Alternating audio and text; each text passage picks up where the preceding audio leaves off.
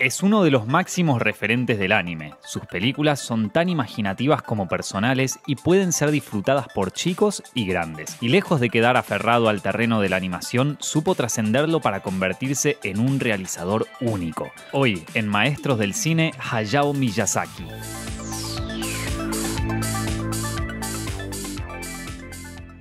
Hayao Miyazaki nació el 5 de enero de 1941 en Bunkyo, un distrito de Tokio, en Japón. Su padre, Katsuhi Miyazaki, era el responsable de Miyazaki Airplane, una empresa de fabricación que fabricaba timones para los aviones de la Armada Imperial japonesa, muy activa en plena Segunda Guerra Mundial. Justamente por la guerra, la familia de Miyazaki debía trasladarse varias veces. Uno de esos destinos fue Utsunomiya, donde a los cuatro años le tocó presenciar bombardeos nocturnos. Una noche la situación fue tan insostenible que debieron huir de la ciudad en llamas. Después de la Segunda Guerra Mundial, Hayao sufrió otro duro golpe. Dola, su madre, contrajo tuberculosis vertebral. Como consecuencia, debió permanecer acostada durante ocho años. Tanto las consecuencias de la guerra como de la enfermedad le enseñaron al joven Hayao la fragilidad de las personas y de la vida, pero también la importancia del valor y de la lucha, sobre todo el valor y la lucha de una mujer. Por parte del padre, tomó el gusto por los aviones, por la capacidad de volar. Justamente durante aquel juventud tan difícil, Hayao volaba a través de su imaginación. Encontró consuelo en el manga. Aquellas aventuras fantásticas le resultaban entretenidas y lo inspiraban a hacer él mismo sus propias historietas. Su principal referente era Osamu Tezuka, quien había revolucionado el medio gracias a su estilo cinematográfico, pero no menos arraigado en la cultura japonesa de posguerra. Entre sus obras destacan Jungle Taitei y Tetsuban Atom, conocida en Occidente como Astro Boy. Pero al notar que esos primeros pasos creativos seguían demasiado de cerca el trabajo trabajo de Tezuka, Hayao los destruyó porque pensaba que nunca encontraría su propia voz. En la secundaria, mientras continuaba dibujando, vio una película que le cambiaría la vida, Hakuya Den de 1958, que fue el primer largometraje animado japonés en colores. Además de enamorarse de la protagonista, se convirtió en un fanático del anime y quiso él mismo ser animador. Pero más allá de sus inquietudes artísticas, Hayao era consciente de que debía seguir una carrera más acorde con la tradición familiar. Estudió economía en la Universidad de a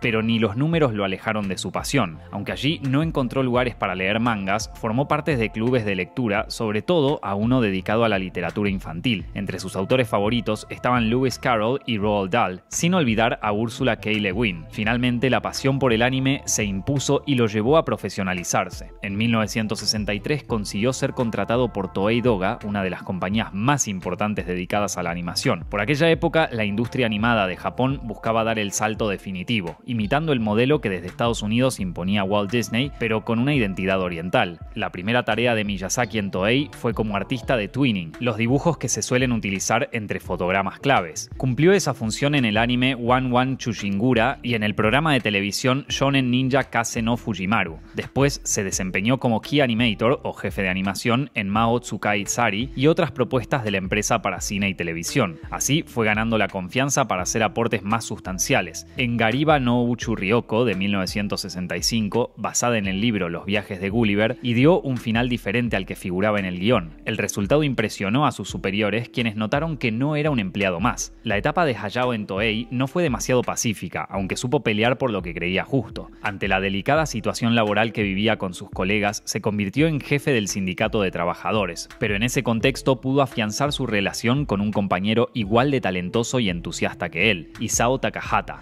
Conocían desde sus épocas en la universidad, cuando militaban en protestas estudiantiles, pero en ese momento se volvieron colaboradores muy estrechos. Nunca llegaron a forjar una amistad, pero sí una relación de respeto mutuo y una dedicación obsesiva hacia el trabajo. También en aquellos tiempos, Miyazaki conoció a Akemi Ota, una artista joven pero veterana en Toei. El futuro director se acercó a ella para aprender más, pero pronto la relación pasó de lo profesional a lo sentimental. Un año después ya estaban casados. En tanto, y a pesar de las tensiones internas, Miyazaki empezó a crecer dentro de Toei. Cuando Takahata tuvo la oportunidad de dirigir su ópera prima, Taiyu no Oji Horosu no Daibouken, se sumó como diseñador de escenas. Además, pudo aportar al desarrollo de la historia, ya que el realizador tenía un método de trabajo abierto para todo su equipo. Gracias a este procedimiento, la película también tuvo una impronta contestataria, fiel a la que Takahata y Miyazaki pregonaban desde el sindicato. Estrenada en 1968, Taiyu no Oji Horosu no Daibouken no fue un suceso inmediato, y Toei Toei nunca estuvo de acuerdo con el carácter revolucionario de la historia, pero con el tiempo ganaría fanáticos y sería considerado uno de los mejores largometrajes animados japoneses de todos los tiempos. Miyazaki continuó trabajando junto a Takahata en Nagagutsu o Haitaneko, basada en el cuento El gato con botas. Aquí tuvo más participación en los guiones gráficos y en la historia, al punto de ser el principal artífice de una secuencia de persecución. Toei también le confió el manga homónimo que se usó con fines publicitarios. Luego Miyazaki tuvo participaciones activas en el diseño y las historias de películas Soratobu Yoreisen, Dobutsu Takarajima, basada en la Isla del Tesoro de Robert Louis Stevenson, y Aribaba no Yupiki no Tozoku. Sin embargo, la relación con Toei ya no era la misma. Abandonó la compañía y se incorporó a Tokyo Movie Shinsha, hoy conocida como TMS Entertainment, otra empresa dedicada a la animación. Allí se reencontró con Takahata para trabajar en productos televisivos como Rupan Sansei. En esta adaptación del manga homónimo, conocido en Occidente como Lupin the Third, Miyazaki tuvo la oportunidad de debutar como director junto a su colega. Ambos codirigieron 15 episodios emitidos entre 1971 y 1972. Gracias a esta experiencia, Miyazaki adquirió la confianza para encarar su primer trabajo como director en solitario, el cortometraje Yuki no Taiyo, de 1972. La historia se centra en Yuki, una huérfana de 10 años que experimenta alegrías y tristezas. El objetivo del director era que funcionara como piloto para su potencial ópera prima, lo que al final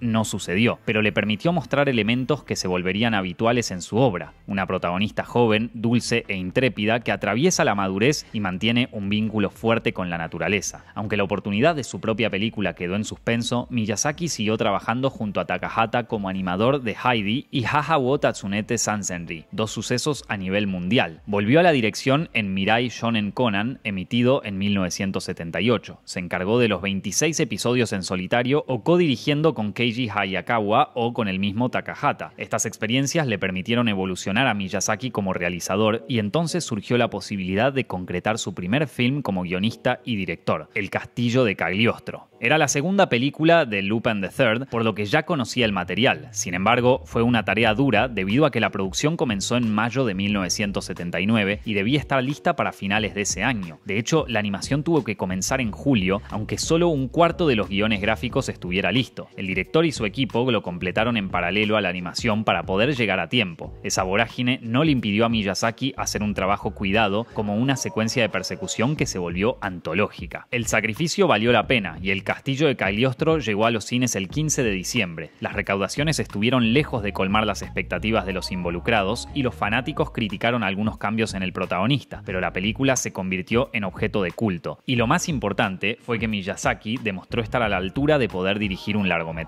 Miyazaki estaba decidido a crear un producto de su autoría donde pudiera plasmar su visión con verdadera libertad. Las posibilidades de hacerlo mediante un film eran difíciles, pero recibió una propuesta inesperada. Toshio Suzuki, editor de la revista especializada Animage, venía siguiendo de cerca sus trabajos y los de Takahata. A comienzos de los 80, la relación entre ellos era lo suficientemente cercana como para comenzar a generar proyectos propios, principalmente una película original en la que Miyazaki pudiera gozar de plena libertad creativa. Surgieron varias ideas, pero por diferentes motivos ninguna cobraba vuelo. Entonces nació la posibilidad de hacer un manga. A Miyazaki le gustó y en febrero de 1982 presentó Kaze no Tani no Nausicaa. La historia transcurría en un mundo postapocalíptico protagonizada por Nausicaa, princesa del Valle del Viento, uno de los últimos reinos que escaparon de la contaminación mundial, pero de pronto se verá envuelta en una guerra que podría ocasionar más destrucción. Publicado en Animage, el manga fue un suceso inmediato, lo que potenció la posibilidad de al cine. Miyazaki por fin tendría la oportunidad de volver a la dirección y con un proyecto más personal. Sin embargo, al principio no estaba seguro de hacerla él mismo, ya que la serie seguía su curso y no sabía hasta cuándo se extendería. De hecho, la terminó en 1994, pero Takahata logró convencerlo y le brindó su apoyo como productor. A la hora de adaptar su propio trabajo de un medio a otro, Miyazaki tomó los primeros volúmenes de los siete que serían en total, por lo que debería dejar de lado algunos elementos y subtramas. Eso no le impidió desarrollar un guion que pudiera sostenerse por sí mismo, capaz de seguir siendo fiel a sus preocupaciones. Para llevar a cabo una producción tan ambiciosa, Miyazaki, Takahata y Suzuki acudieron a Topcraft, una empresa fundada en 1971 por Toru Hara, otro ex animador de Toei. Durante los 70, Topcraft trabajó en colaboración con la compañía estadounidense Ranking Bass y en la coproducción japonesa-alemana La abeja maya, sin dejar de mencionar una adaptación televisiva del Hobbit de J.R.R. Tolkien. A Topcraft le gustó la idea y le dio luz verde a la película de Kase no Tani no Nausicaa. Como en su ópera prima, Miyazaki y su equipo no tuvieron una tarea fácil. La producción dio inicio en 1983 y el plantel de animadores podía cobrar por cada fotograma terminado. Entre el equipo técnico se encontraba el joven y prometedor Hideaki Anno, quien preparó la secuencia del ataque del dios guerrero. Años más tarde, Anno pasó de promesa a realidad como el cerebro de Neon Genesis Evangelion. Estrenada en 1984, Kase no Tani no Nausicaa fue un gran éxito de taquilla y significó la confirmación de Miyazaki como autor. Aquí desplegó su capacidad para crear mundos fantásticos pero palpables. Dejó en claro que podía componer personajes tan vulnerables como valerosos, con motivos claros para ser como son. Confirmó su capacidad para crear criaturas tiernas o peligrosas, aunque siempre impactantes. Manifestó su postura ecologista y antibélica, y todo esto dentro de un film pleno de aventura y emoción. Cuando llegó el momento de distribuirla en Occidente, hubo cambios inesperados. En 1985 fue estrenada bajo el título de Warriors of the Wind y con casi 25 minutos menos para hacerla más accesible al nuevo público. Para colmo, los nombres de los personajes fueron cambiados, empezando por el de la protagonista. Ahora se llamaba Sandra. Miyazaki renegó de aquellas modificaciones y hasta dudó permitir la difusión internacional de sus siguientes films. Pese a la repercusión de Kase no Tani no Nausicaa, Topcraft no pasaba por un buen momento. En junio de 1985 quebró y dio pie a dos nuevas compañías. Por un lado, Pacifico Animation Corporation, que seguía trabajando con Ranking Base en programas como Thundercats. Por otro lado, Miyazaki, Takahata y Toshio Suzuki fundaron Studio Ghibli. A Miyazaki se le ocurrió por el nombre que en Italia le daban al viento caliente del Sahara. A su vez, remite al avión Caproni K Ghiblium, también de origen italiano. Así, buscaban darle nuevos aires al anime y lo lograron. Bajo el ala de Ghibli, Miyazaki dirigió El castillo en el cielo, otra historia plena de fantasía y madurez. Le siguió una de sus creaciones más populares, Mi vecino Totoro. La historia estaba centrada en dos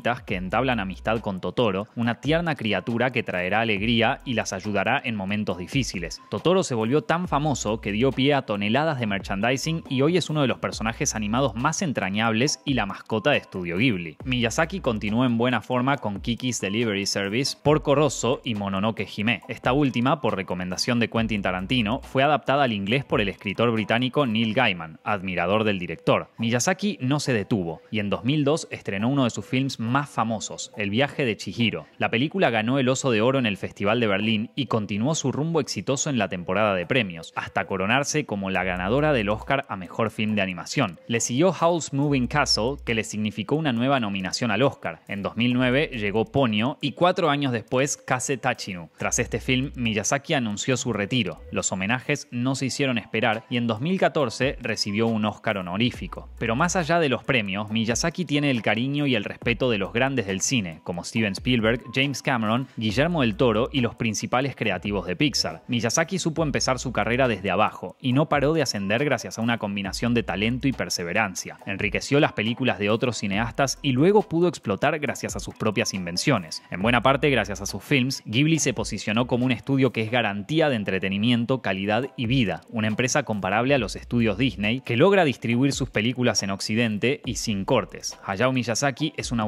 sensei y nunca dejará de maravillarnos. Y eso fue todo por hoy amigos, pero no se vayan sin dejar su like ahí abajo, compartir este video con sus amigos y suscribirse a Zepfilms para más sobre sus películas favoritas. Mi nombre es Nicolás Amedio Ortiz y nos estamos viendo la semana que viene.